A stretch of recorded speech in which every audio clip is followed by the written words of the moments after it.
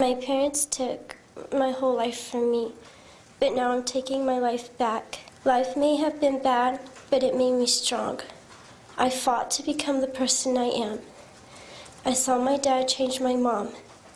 They almost changed me, but I realized what was happening.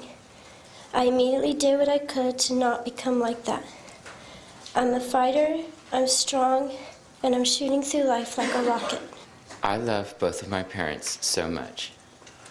Although it may not have been the best way of raising us, I am glad that they did, because it made me the person I am today.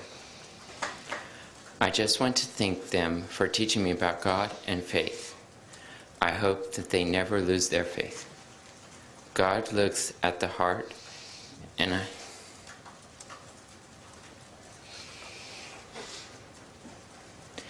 And I know he sees theirs.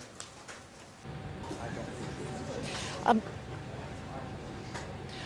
a mix of messages today. At times, the children said they felt their parents were overwhelmed with 13 children and had made bad choices but still loved them. At the same time, the, son who spoke talked about still having nightmares after having watched his siblings being beaten and put in chains.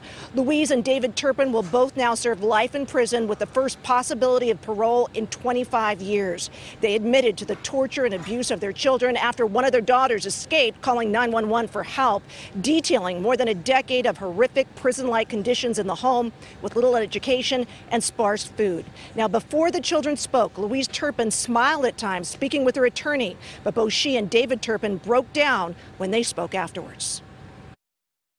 I am so proud of each and every one of my children. I miss all of my children, and I will be praying for them. I long for the opportunity to contact with them again. Thank you. I'm sorry for everything I've done to hurt my children. I love my children so much. I'm blessed to be the mother of each one of them. I only want the best for them. Their happiness is very important to me. They're very smart, amazing individuals. I hope they all, I hope they get all the education they need to make their dreams come true.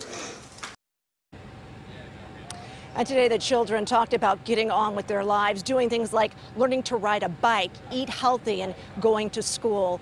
Peter Suzanne, the judge, also said protective orders are going to be in place, limiting any contact uh, with the parents, between the parents and the children. Those are going to differ for each child. And he said it's the parent's responsibility to really rear the child, and any success these children have now will not be due to anything the parents did, but in spite of it.